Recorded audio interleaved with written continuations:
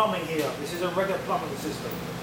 Here is where your backflow preventer is.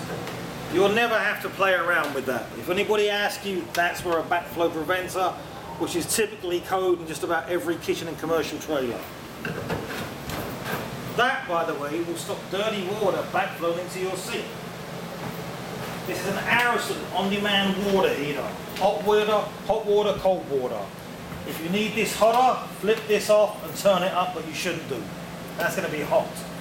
For those of you that have an exterior outlet for your fridge and freezer only, which means you can plug in a 110 extension cord, you will take out a one plug, you will plug into the second plug. The exterior outlet will now power your fridge.